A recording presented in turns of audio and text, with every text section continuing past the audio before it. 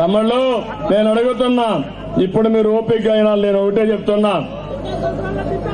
ఈ పోలవరం ప్రాజెక్టు రాష్ట్రం కోసం మనం ప్రయత్నం చేశాం. ఎందుకంటే ఈ పోలవరం వస్తే మీరు ఏడు మండలాల్లో నష్టపోతారని నాకు తెలుసు. అదే సమయంలో నేను ఒకటే సిద్ధాంతాన్ని తీసుకున్నా. హైదరాబాద్ నగరంలో ఒక ఎయిర్పోర్ట్ వచ్చింది. శంషాబాద్ ఐదు వేల ఎకరాలు అవసరమైంది. నేను వాళ్ళకి నచ్చ చెప్పాను. మీరందరూ కలిసి ఐదు వేల ఎకరాలు ఇవ్వండి. మీకు లిబరల్గా నష్టపరిహారం ఇస్తా మీరు పక్కన డబ్బులు పెట్టి కొనుక్కోండి. భవిష్యత్తులో మీరు కోటీశ్వర్లు అవుతారని ఆ రోజు చెప్పి ఐదు వేల ఎకరాలు నేను తీసుకున్నా. వాళ్ళు పక్కనే కొనుక్కున్నారు. తమిళలో ఎయిర్పోర్ట్ పక్కన ఒక ఎకరా ఇప్పుడు ఎంత తెలుసా? ఇరవై కోట్లు ముప్పై కోట్లు. కొన్ని దగ్గర యాభై కోట్లు అరవై కోట్లు కూడా అయింది. అంటే ఎవరైనా సరే భూమి పోయినవాడు పునరావాసంలో నష్టపోయిన వ్యక్తి మళ్ళా ఆయనకి న్యాయం చేస్తే ఆనందంగా ఉంటాడు తప్ప ఆయన పొట్టగొడితే మంచిది కాదది. నేను అందుకనే ఏ ప్రాజెక్టు చేపట్టినా ఒకటే ఆలోచించాను ఈ ప్రాజెక్టు వల్ల ప్రజలకు ఎంత లాభం ఉందో కింది వాళ్ళకి. ఎవరైతే భూమి కోల్పోతారో ముంపుకు గురవుతారో వాళ్ళకు కూడా అంతే న్యాయం చేసి వాళ్ళు ఆనందంగా ఉండాలి. దీనికోసం మీ అందరికి ఒకటి హామీ ఇస్తున్నాను. నలభై ఒకటి డ్రామా వద్దు. నలభై ఐదు పాయింట్ ఏడు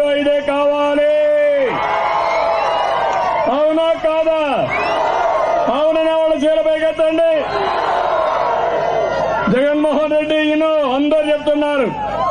నిన్న మీరు అడుగుతున్నారు అక్కడ మాకు నలభై ఐదు వరకు ఇవ్వండి సార్ తల్లి నేను ఎన్నిసార్లు చెప్పాను. నలభై ఐదు మన చేతులు లేదు కదా చెప్పేసే కదా. నువ్వు వేరే లెక్కలో ఉన్నావు కదా ఏ లెక్కలో ఉన్నావు? ఏ మైకంలో ఉన్నావు నువ్వు అంటే మా ప్రజానీకం శాశ్వతంగా గోదావరిలో కలిసిపోవాలి. నువ్వు మాత్రం రాష్ట్రాన్ని దోచుకోవాలి. నువ్వు మాత్రం ఆనందంగా ఉండాలి. మనం మాత్రం జీవితాంతం కూడా కష్టాల్లో ఉండాలి. అందుకే నేను చెప్తున్నా పోలవరం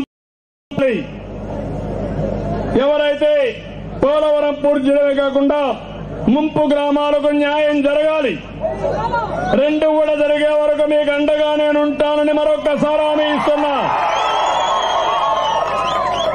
అవసరమైతే ఈ పోలవరం ముంపు గ్రామాలకు కలిపి ఒక ప్రత్యేకమైన జిల్లాగా చేస్తాను. పోలవరం జిల్లా చేస్తాను.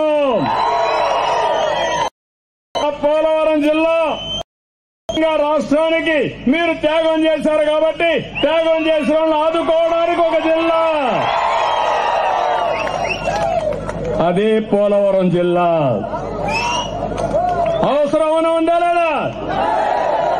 రాష్ట్రం మొత్తం బాగుపడడానికి మీరు త్యాగం చేస్తే మిమ్మల్ని ఆదుకోవడం కష్టమా తమ్ముళ్ళు అని మిమ్మల్ని అడుగుతున్నా. నేను ఎప్పుడు కూడా ప్రజల కష్టాల్లో ఉంటే నేను విమానాల్లో తిరిగేవాడిని కాదు.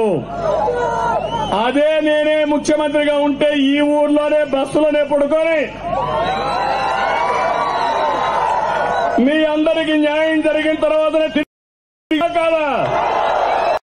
మంత్రి మేమందరం చందాలేసుకుంటాం బస్సు కూడా ఇస్తాం ఇక్కడే పడుకో ఇక్కడే అందరికి న్యాయం చేయి గ్రామాలు తిరుగు తర్వాతనే నీ తాడేపల్లి ప్యాలెస్కి వెళ్ళు.